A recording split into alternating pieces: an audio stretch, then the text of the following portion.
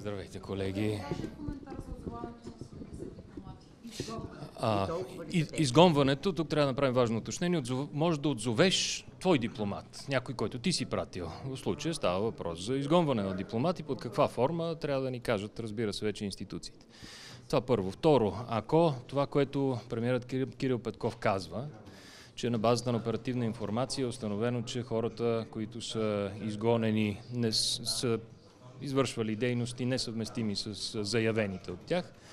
А, трябва да поздравим българските служби за добре свършената работа. Тук въпросът ми е, разбира се, към Демократична България, които до вчера твърдяха, че службите са пробити.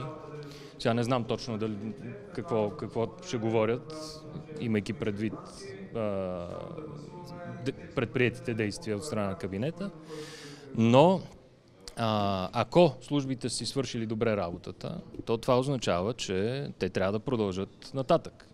Защото напоследък се появяват и съмнения за това, че по високите етажи на, на българската власт, вече от а, кабинета в оставка, а, има, има хора, които продължават да обслужват руски економически интереси.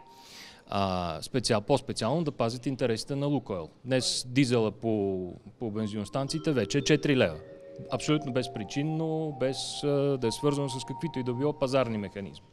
А, така че очевидно е, очевидно е пазенето на интересите на Лукойл от страна на кабинета. Ами тези, които поискаха дерогации, тези, които поискаха изключения за България, ще да налагат вето върху шестия пакет санкции а, срещу Русия. А, тези трябва също да бъдат разследвани от, от българските служби. А, само да допълня, пак казвам, ако е вярно, защото ние научаваме както вие от медиите. А, има, аз лично забелязвам леко разминаване между това, което казва премиера и това, което оповести Министерството на външните работи като прес-съобщение.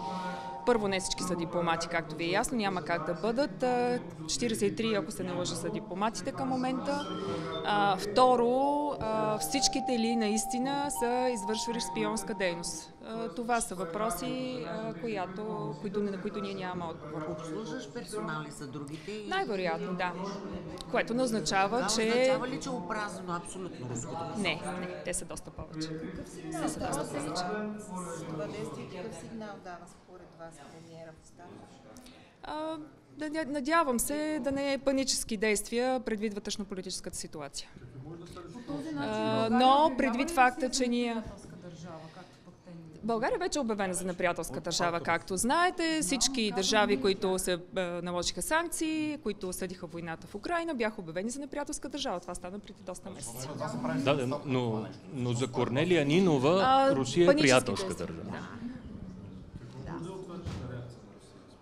Всичко е възможно. Може, може, могат да бъдат, наистина палитрата от а, възможности е голяма, включително и да се намали нивото на дипломатически отношения. Ние колко души имаме в Москва? много по-малко. Много по-малко. Много по-малко, много по-малко от 70, ако това ви е въпроса. Да, да. Тоест, те ако решат като ответна реципрочна реакция да обяват за неприемливи или за персона на ограда всички, това означава на практика затваряне на всичките да. ни мисии. Да. да. Моля? Че ние говорим, това е реципрочната реакция на аз не знам какво казва. На 18 май били коментирали да. тези действия точно за... Ма, вижте, ние не сме били на, на тяхния коалиционен съвет, за да ви кажем какво са, какво са говорили. Още повече госпожа Нинова каза, че не са говорили на коалиционните съвети, така че да се уточнят в коалицията на ни. Карайте. Да. да. Благодаря. Чисто управленски как ще повлияе на страната? Ми то ние нямаме управление вече, това правителство е в оставка. Благодаря.